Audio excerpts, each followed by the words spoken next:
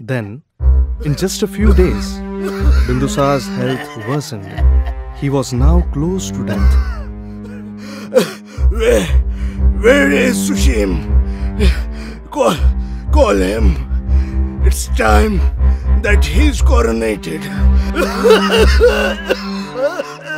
Sir, he's still in Takshashila. Call my son now!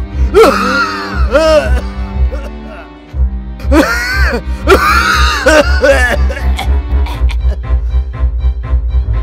ministers at this came back with Ashok, decorated in all the royal garments and jewelry.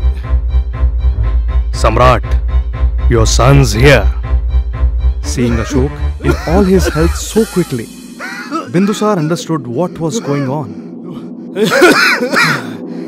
You traitors!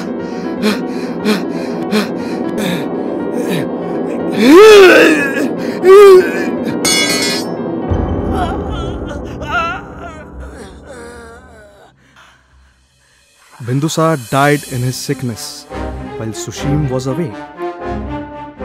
The conspirators declared Ashok as the new king. What? When Sushim learned that Ashok was crowned, he was infuriated. Immediately, he with his army rode for the capital. He had the support of many of his brothers and allies.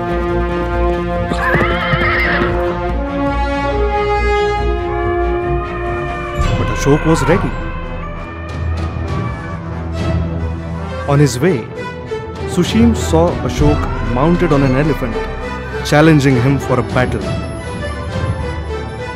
Blinded with anger, he charged.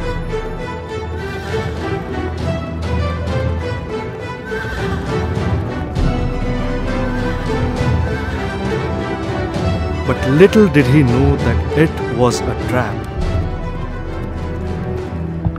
He felt that something was wrong about the ground underneath.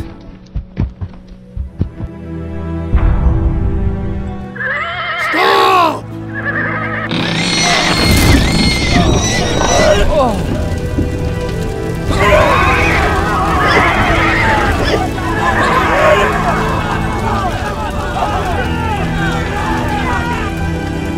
Sushim received a slow and painful death.